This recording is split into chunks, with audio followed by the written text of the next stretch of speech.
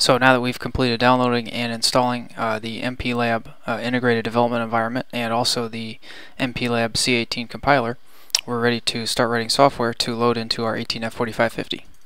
So we'll begin MPLAB and here's what the opening screen looks like. So if we go to Project and Project Wizard and then next on the first screen uh, device. We definitely want to choose a device. You can see all the different devices here that uh, you can possibly write software in MPLAB to program all the various PICs, DS PICs, etc. We want to make sure to choose the 18F4550.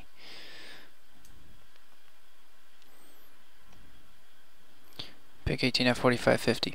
If uh, you ever start a project and you by accident you don't choose the correct device to begin with, under configure and select device there is an option here to do that. Unfortunately I found that if you choose the wrong device by accident to begin with, write a program, compile it, work with it a little bit, then you notice that, then you change the device later, you ideally that should work perfectly, but in reality you can get into some problems with that. So when you're starting your project to begin with, you definitely want to kind of double check yourself here and make sure that you choose PIC 18F4550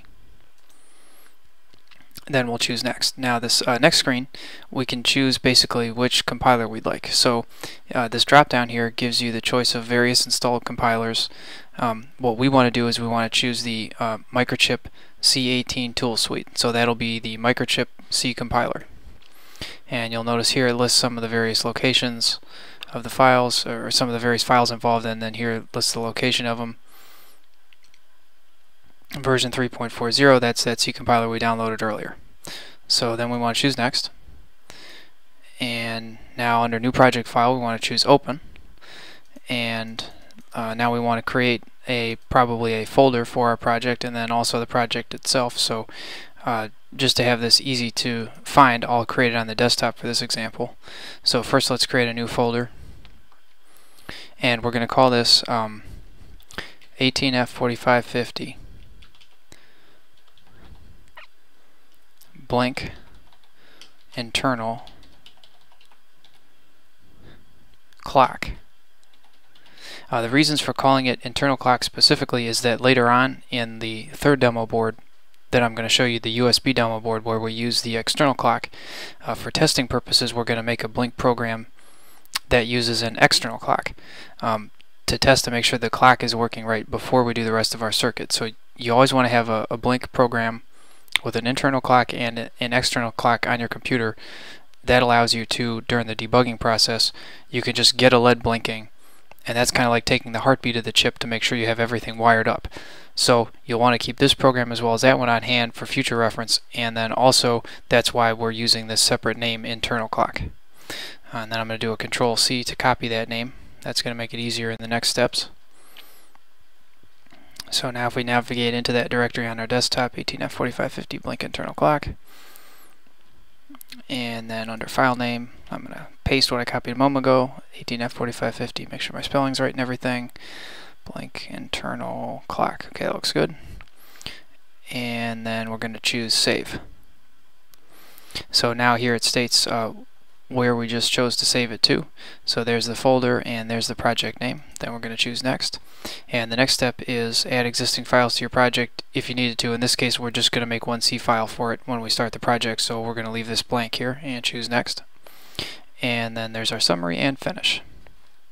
So the next thing I'm going to do is I'm going to open a Windows Explorer and navigate to the directory we just created so we can see the files um, that the IDE creates for us as we go. So let's see, where would that be? Blink internal clock. There we go. so once we created the original project, there's three files. There's blink internal blinkinternalclock.mcp and MCW. These are the two project files. If you ever want to open the project again later on, you can double click either of these rather than going to MPLAB first and going to File Open or Project Open. So here we are in our project. So in other words, for example, if we close, it'll ask you wish to save the workspace before closing. Yes, we do. So, for example, let's see we came to our desktop like this someday. Here's our folder. Then we could just double click on either of these and it would take us right back into our project. So here's our project. It doesn't have any source files, header files, object files, anything like that yet. Uh, so what we're going to do is we're going to go to File, New, and we have to, before we can save it, we have to type something, so I'll just type a comment. Now if we go to Save, uh, now note, unfortunately, MPLAB in this case, we were just working in this directory, but it doesn't always take you to the directory you just created or saved something in. So uh, make sure that you navigate to the correct directory that you're trying to save something to. In this case, it did take us to that same directory, but it doesn't always. And then we're going to add the file name here. So uh, 18F4550 blink internal clock.c and double check that we're saving it in the correct directory 18F4550 blink internal clock. Another thing that's a little bit of an oddity of MPLAB is once you're in a project and you create a new file you might think it would automatically add that file to the project. Unfortunately it does not. You have to check this box here at the bottom add file to project and then click save. So double check we're in the correct directory. We have the correct file name with the .c after it and add file to project. That looks good. So if we do save, we can now see the C file appears over here in our uh, file browser. So let's resize it. So we have the whole screen to work with. And this bottom window here, uh, when we uh, compile things or search for stuff in certain files and so on, it, this will be our output for that, but we'll get to that later. So we re resize our main window here and I'm going to copy and paste the name again 18F4550 blink internal clock.c and now we're ready to start writing our code. So if we do a file save and then compile well it's going to fail to build because we don't have anything in it yet but that's okay. And that's how we will do it once we have something to compile. There's the build all button Okay, so the first thing that we have to do when working with the 18F4550, and if you're used to writing desktop software but you've never written embedded software before, this is going to be a little bit new. But we have to do our uh, chip configuration options. And then put a comment line all the way across. Now this this next step here, this chip configuration option list, this isn't going to be the most fun or exciting programming in the world, but it's absolutely essential you don't skip this step. Basically, um, the 18F4550 has a whole bunch of uh, features that it can perform. It can check itself. Uh, you can set certain things by default like the clock and memory area protection and so on. And the microcontroller will try to correct what's going on. But in most cases, you don't want it to do that. You just want it to kind of leave stuff alone and run your code. So to make sure it does that, what we need to do is we need to go to Help and then Topics. And then um, we'll find under Language Tools here PIC18 config settings. And then we're going to nav navigate to the 18F4550. Oops, that's the 4450. And there's the 4550 down there. Okay, 18F4550. So here we'll find all the different chip configure configuration options. There's uh, quite a few here as we go down our list. Definitely what you'll want to do is you're going to want to print this list out. And it uh, prints out to five, six pages, roughly, um, depending on how you have your printer set up. Uh, but in any case, each setting here, uh, they list what the setting is. So this is how you would set it in code, PLL div, and then there's a quick description of it. Uh, unfortunately, you'll notice in the description it does not list what the defaults are, which is another good reason not to leave these as the defaults. I can't emphasize that enough. What's going to happen if you leave these as the defaults, you do the tempting thing and skip this step, is at some point the microcontroller will start clearing itself automatically unbeknownst to you, or the watchdog timer will kick on, or memory protection for something you're trying to change will kick on. Some really weird behavior that you won't be able to figure out at first will happen because you didn't set the default options. So let's take the time to go through and set these now. Now the first uh, three options, actually the first four options, are pertaining to the clock. Uh, PLL div, that's uh, phase lock loop pre-scaler selection bits, uh, system clock post-scaler selection bits, and then USB clock section bit.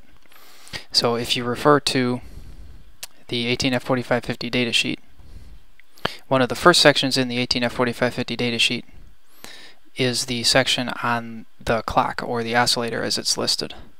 And it's a big datasheet, so it might take a moment to come up. There we go. But if we go to section 2 here, oscillator configurations, once you get into using the external clock, you're definitely going to want to read this section, and especially you're going to want to take a look at this diagram here. It explains the clock options extremely well. But for now, for this demo board, what we're going to want to do is we're basically going to want to use the internal clock and that will involve setting this fourth option here and then the previous three options essentially it doesn't really matter what we have them set to since we're going to be using the internal clock so let's go ahead and do that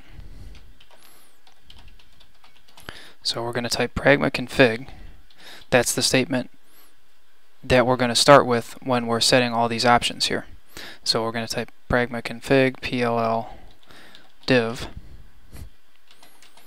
is assigned 5. So this does not matter since we are using the internal clock. For now, of course it will matter later when we're using the external clock. And then we'll do pound pragma config. Probably a good idea to copy and paste pragma config with the space after it. That way you won't have to keep typing it. So now referring to our compiler options list here, the next option is CPU div. So we're going to type CPU div is assigned OSC1 underscore PLL2. So again, where you get what you could potentially assign CPU div to is from this list here. Here's your choices, OSC1 PLL2, OSC2 PLL3, OSC3, and so on. Okay, I need up my spacing here. And since I'm going to say the same thing, I'll just copy and paste it. And the third clock option that for the moment does not matter, pragma config, uh, USB div is assigned 2. And again, this doesn't matter since we're using the internal clock. Now I happen to choose values for these that are going to be uh, similar or exactly the same as the values that we're going to use later on when we are using the external clock so we won't have to change much when we get to that but for the moment we'll leave them as that so now the next setting uh, FOSC gives us uh, quite a few choices here as we can see depending on whether using an internal clock or an external clock and which pins you'd like to be able to use with that. So what we're going to do is we're going to do pragma config fosc is assigned int